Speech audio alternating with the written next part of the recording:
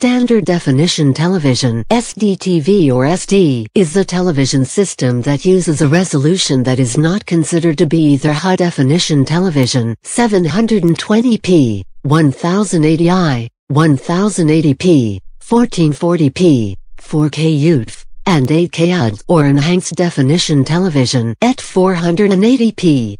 The two common SD-TV signal types are 576i, with 576 interlaced lines of resolution, derived from the European developed PAL and SECAM systems, and 480i based on the American National Television System Committee NTSC system.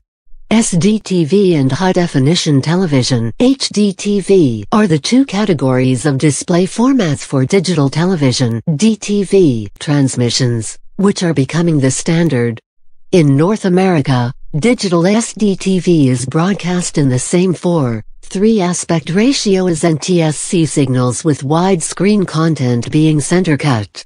However, in other parts of the world that used the PAL or SECAM color systems, Standard definition television is now usually shown with a 16, 9 aspect ratio, with the transition occurring between the mid-1990s and mid-2000s.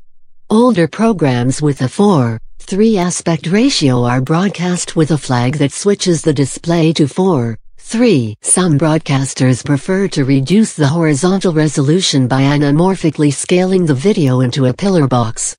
Standards that support digital SD-TV broadcast include DVB, ATSC, and ISDB. The last two were originally developed for HDTV, but are more often used for their ability to deliver multiple SD video and audio streams via multiplexing, than for using the entire bitstream for one HD channel. For SMPTE 259MC compliance, a SD-TV broadcast image is scaled to 720 pixels wide with only 704 center pixels containing the image with 16 pixels reserved for horizontal blanking. A number of broadcasters fill the whole 720 frame for every 480 NTSC or 576 PAL lines of the image with the amount of non-proportional line scaling dependent on either the display or pixel aspect ratio.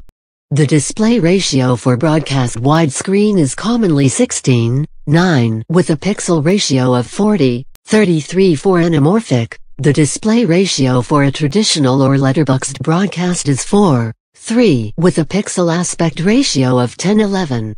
An SD-TV image outside the constraints of the SMPTE standards requires no non-proportional scaling with 640 pixels as defined by the adopted IBM VGA standard for every line of the image. The display and pixel aspect ratio is generally not required with the line height defining the aspect.